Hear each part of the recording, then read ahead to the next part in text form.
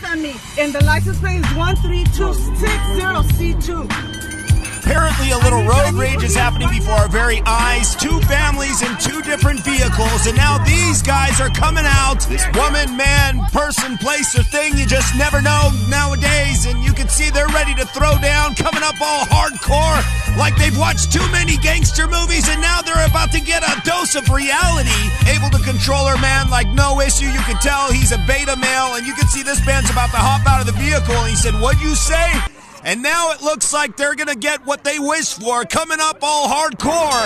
About to get humbled and crumbled. And booyah!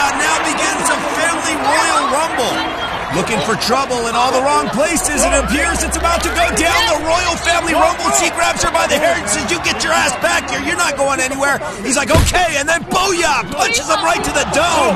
What happened to that tough guy we saw earlier now asking for a way out? He's like, Leave my wife alone. And it's like, Bro, you're the one who got out of the car in the first place. Now you're going to suffer the repercussions or quite possibly get a couple of concussions as she g- grabs her hockey style and about to give her a couple last minute punishments, a couple of doggy bags, a couple of receipts for her efforts, sends her on her way shirtless. My God, this is just disturbing as hell. Kind of reminiscent of the zoo. It looks like we're in the elephant section.